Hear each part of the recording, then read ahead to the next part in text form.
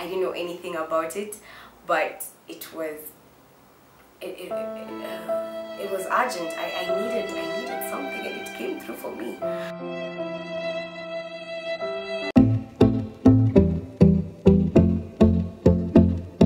Hi guys, welcome back to my channel. My name is Rachel. In today's video, I will be answering a number of questions that people have been asking me uh, from the Get to Know Me video.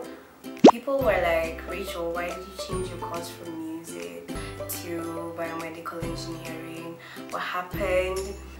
So I decided, okay, let me give you guys a brief story about what happened when I joined uni. So it's a chilled video, enjoy it. Okay, so guys, when I joined uni in first year, it was in 2015. And uh, before then, if you are doing the Kenyan system, 844 system, you know how your parents really want you to pass your papers. So I passed my Form 4. Uh, yeah, I passed my exam And the following year, uh, we were supposed to choose the course you want to do. And I chose a number of courses. I can't really remember them well, I remember that music was the fourth one. It was the last one on the list. I, it has, I, I think I chose a lot of medical. I can't really remember well. So um, when the selection came, like when the results came out, I was taken to do music technology.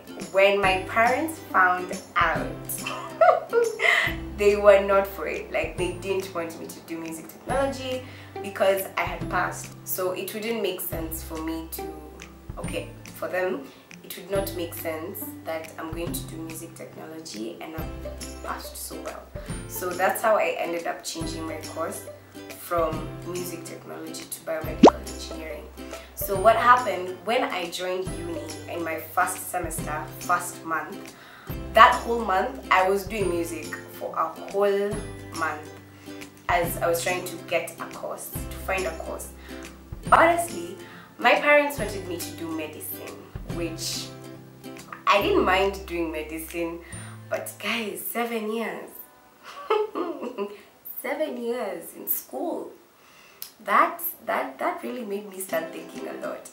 So i looked for a course that is close to medicine something that is close to medicine but still close to me which i love engineering. I have never minded engineering. I've always loved engineering so i decided okay let me look for a course and that's how i bumped into biomedical engineering i actually didn't know it existed. I didn't know anything about it, but it was it, it, it, uh, it was urgent. I, I needed I needed something and it came through for me. So when I went and explained to my parents this is what I've chosen to do, they were okay with it. They didn't mind.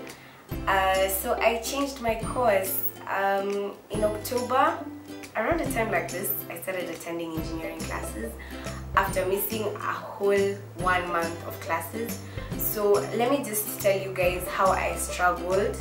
I really struggled because I had spent a whole month in music but lost a whole month of classes in engineering.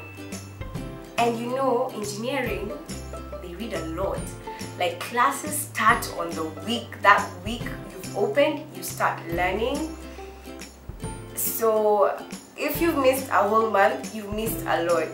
And I had CATs the following week. I had joined the week before, the following week I had CATs. So I used to spend so much time in the library. My life changed completely because of this one course called biomedical engineering. And I stopped doing music. I stopped everything concerning music singing drumming. I never used to do any of those things because of engineering. It is very, very involving. I went a whole year, my whole first year, I could not remember anything to do with music. Maybe I'd, I'd listen to songs, yes, but I was not active when it comes to singing or dancing or any anything musical. So after my first year, I joined church and uh, that's when I started becoming active. I, I started singing, yeah, and doing a lot of musical things, I was drumming. I was given those opportunities which helped me to to actually practice my talent if I may say so. Honestly, I must say my whole musical journey I have to say has been based on church because even drumming I learned it in church, singing, church, most of all these things is basically church, church, church. So I went through a very interesting journey. I felt like I abandoned music for a whole year before going back, but it still had a special place in my heart. And I just wanted to probably advise someone out there who's in my situation, maybe you want to do a course that is more artistic, you want to do fashion, you want to do music, you want to do art, but your parents are like, Denied. Look for a course that probably will help your parents and you to meet at the center. Try to explain to them nicely. You have to be wise you know? So speak to your parents wisely and kindly you know try to explain to them exactly what you would wish so that it makes life easier for you. Moreover consultation. I consulted uh, a couple of biomedical engineers because I didn't know anything about biomedical engineering guys. I can tell you for sure. I had no idea. I didn't know anything about it. I, it was like crash course. I don't even know anything so I had to consult a couple of people and they helped me yeah I understood what it's all about I, I also consulted some people who, are, who have been doing music technology and I decided to follow my route, to follow whatever I followed. I don't know if I was following my heart or my, my mind.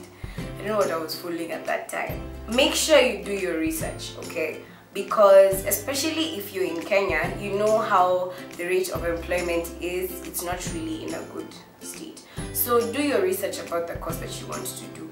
Maybe you want to do interior design, but your parents are telling you, look, you need to become a doctor. Honestly, when you become a doctor, from what I hear, you it's easy for you to get a job.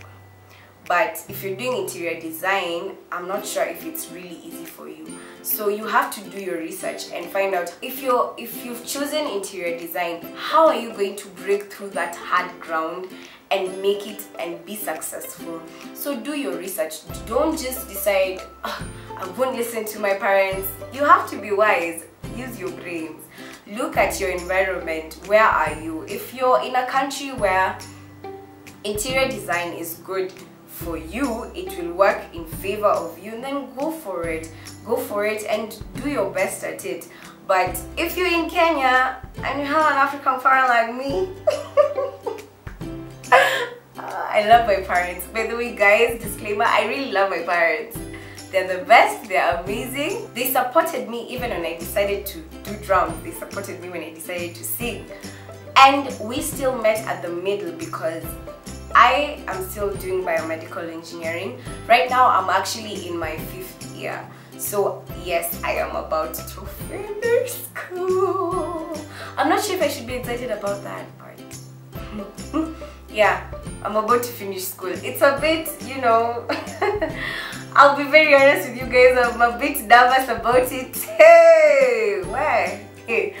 Yeah, but they supported me. That's what I'm trying to say.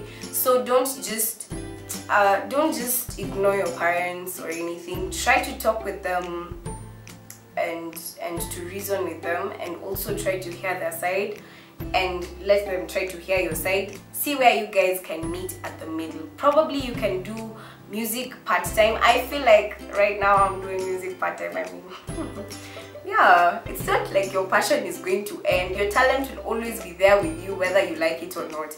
Education it'll be those five years you never know about tomorrow. So your talent will always be with you. So don't like no cannot do this medicine thing you know.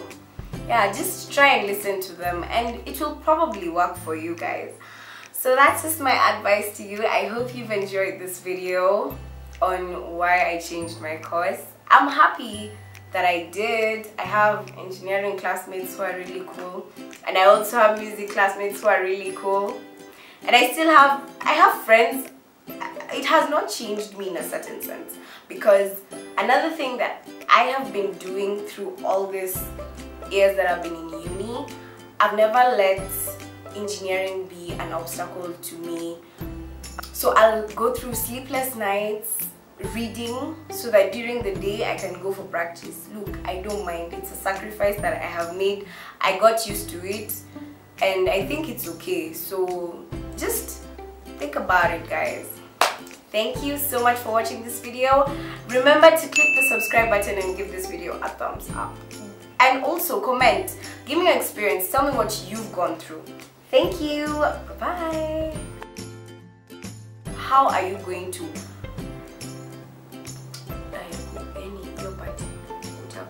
Oh yeah breakthrough. Yeah so